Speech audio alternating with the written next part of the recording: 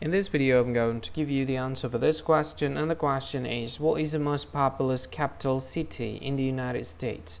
Well, I'll give you the answer for this question, and the answer for the question is Phoenix. Well, that is the answer for the question Phoenix. That's the answer. Hi, thank you so much for watching this video. If you find this video is very useful, you can help this channel to grow by subscribing this channel. Please this subscribe button and don't forget to like this video.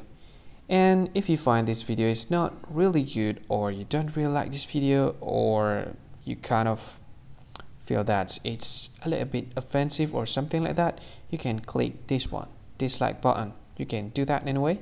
And if you want to share this video with your friend you can share it by clicking this share button and you can share it to any any social media that you wish that is currently available at this time like Facebook, Twitter, LinkedIn, and many others.